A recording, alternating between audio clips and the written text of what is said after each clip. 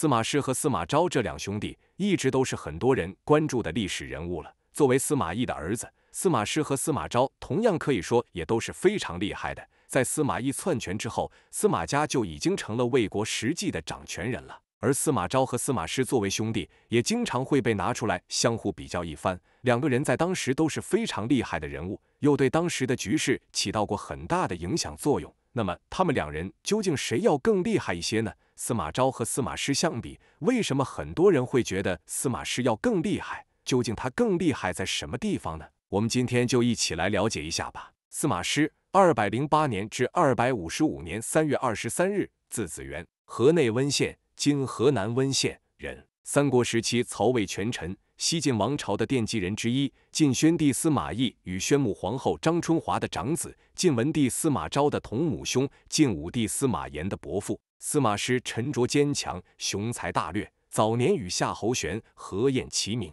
高平陵政变后，以功封长平乡侯，玄加卫将军。司马懿死后，以辅军大将军辅政，独揽朝廷大权。次年升为大将军。掌权后，他制定选拔官吏的法规，命百官推荐贤才，整顿纲纪，使其各有执掌，朝野肃然。司马师也有卓越的军事才能。曾用计于新城之战击溃吴国诸葛恪的大军。嘉平六年（二百五十四年），魏帝曹芳与中书令李丰等人密谋除司马师，事情泄露，司马师杀死参与者，破郭太后废曹芳，改立高贵襄公曹髦为帝。次年，亲自率兵平定冠丘简文钦之乱，回师途中病死，时年四十八岁，谥号忠武。后被追尊为晋景王。西晋建立后，被追尊为景皇帝。庙号世宗。这么说来，司马师和司马昭到底谁更厉害？司马师在三国历史中是一位被严重忽略的人物。之所以造成这种现象，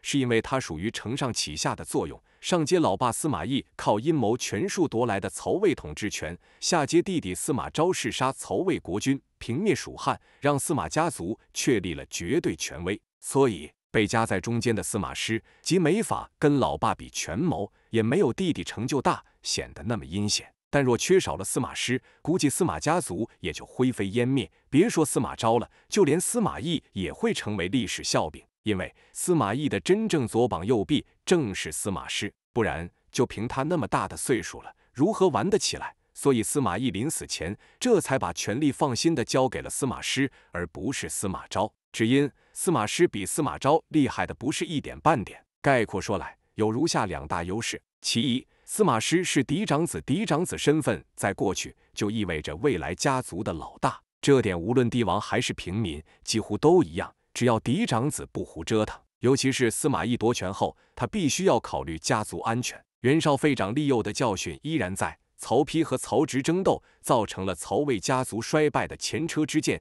依旧历历在目。在这种复杂和凶险的局面下，倘若司马懿绕过司马师，把权力给了司马昭，那势必会引起家族内耗。更何况司马师实则比司马昭更优秀，这就引出了第二方面，司马师才能卓著。其二，高平陵之变的真正指挥者，司马师年轻时也曾帅过，堪称是一位风度翩翩的才子。由于老爸位高权重，所以经常跟那些有才华的名士交往。当然。谈的其实就是魏晋玄学，因而早就拥有了名气，被许多人看好，称之为神采雅致、沉着坚毅、雄才大略。瞅瞅这三个词，第一个是在说其学识，腹内才华造就；第二个是说其性格；第三个是说其志向，三位一体的优越。倘若如此发现下去，估计司马师妥妥的会变成曹魏的栋梁之才。可惜曹爽和司马懿的暗斗，却改变了司马师的发展轨迹。老爸司马懿被迫病退，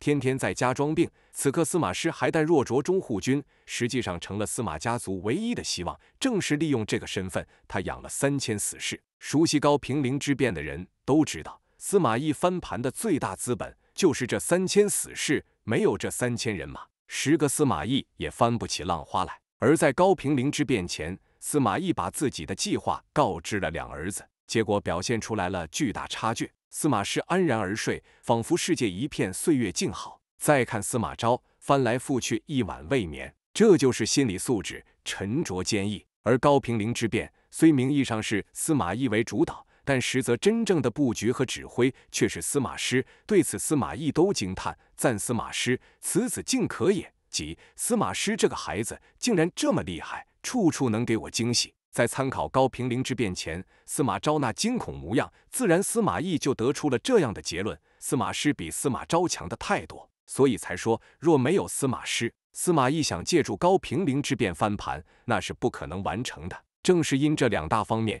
使得司马懿在死后放心的把权力交给了司马师，而不是司马昭。因为当时情况下，司马昭还显得稚嫩，唯司马师能担当得起。那么，为什么司马师更受器重呢？一方面，就司马师来说，沉着坚强，雄才大略，早年与夏侯玄合宴齐名。魏景初年间（二百三十七年三月）、二百三十九年，司马师担任散骑常侍，多次升迁后担任中护军。另一方面，对于司马师的弟弟司马昭来说，正十五年（二百四十四年），大将军曹爽伐蜀时，以司马昭为征蜀将军，作为夏侯玄的副手。就司马师掌握的中护军，掌管的是曹魏都城的禁军。由此，司马懿对于司马师和司马昭这两兄弟的安排是一内一外，在重要程度上，显然是掌握曹魏都城洛阳禁军的司马师更加关键。当然。这还不能直接说明这两兄弟之间的差距。到了公元二百四十九年，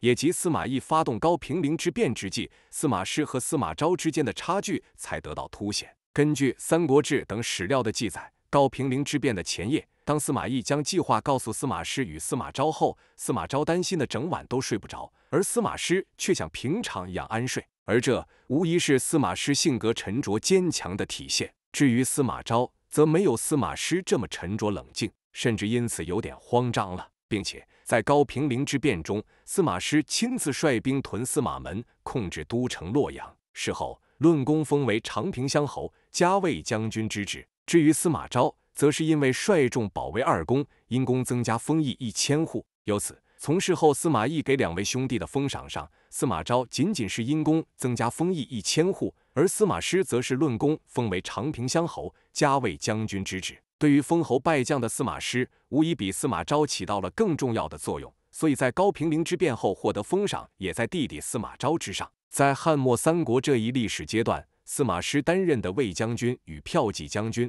车骑将军皆开府，即设将军府，置官署，掌握禁兵，可谓地位非常高的武将了。此外，司马懿临死前的安排也说明了两人之间的差距。最后，根据《三国志》等史料的记载，嘉平三年（二百五十一年），司马懿去世，司马师成为辅军大将军，执掌魏国大权。嘉平四年（二百五十二年），升为大将军。至于当时的司马昭，则是一个都督的官职。对于司马懿来说，将整个司马家族的重担交托到了司马师的肩上。对此，司马师没有让司马懿失望。对外，司马师曾用计于新城之战击溃吴国诸葛恪的大军；对内，亲自率兵平定冠丘简、文钦之乱，对曹魏势力进行打压和清除，为司马昭的即位奠定了基础。总的来说，对于司马师和司马昭这两兄弟，司马师的能力更强。如果不是中途病逝，或许西晋王朝的建立时间都会提前。